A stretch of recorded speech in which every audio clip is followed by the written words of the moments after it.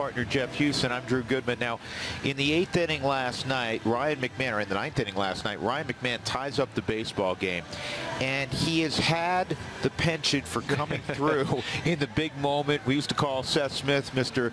Late Night. Ryan McMahon may be the modern day uh, Mr. Late Night. And it came during a period, Huey, where he's really struggling. Yeah, striking out a little bit too much. And you think about Ryan, 36 career home runs now for him. Six of them have come in the seventh inning or later. So last night, what was interesting, when you talked to him after the ball game, he said after that first pitch fastball that I kind of fouled off, he goes, was looking for an off-speed pitch. For him to be thinking of that thought process, to then be able to take it the other way. And there was a number I was referencing, six career home runs, seventh inning or later to tie uh, or take the lead. This year, 216 average, just seven home runs, 19 RBIs.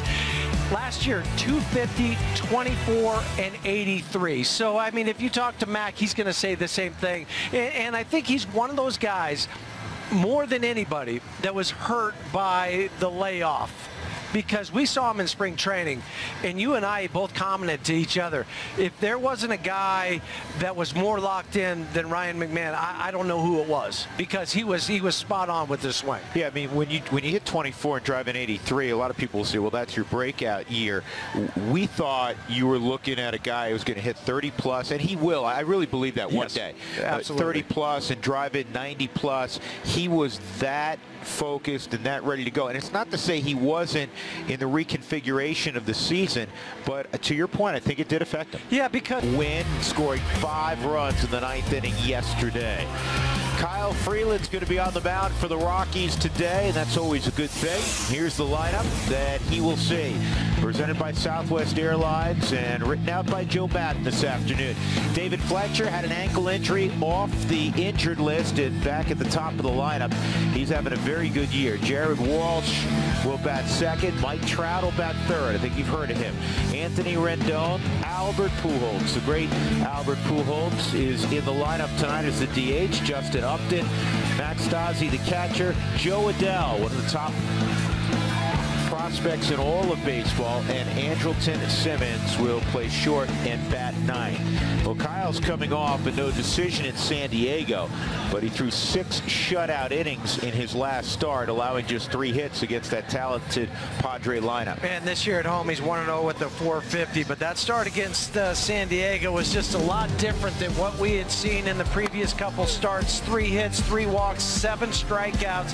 He only used his changeup five times in that ball game. So a different plan of attack, a very good fastball that he attacked those hitters with, along with the slider. And his slider probably had as much break as he as he's had in a long time. So to me, it's going to be really interesting because Kyle has change sometimes, even in a start, what he uses between his fastball, changeup, slider, and curveball.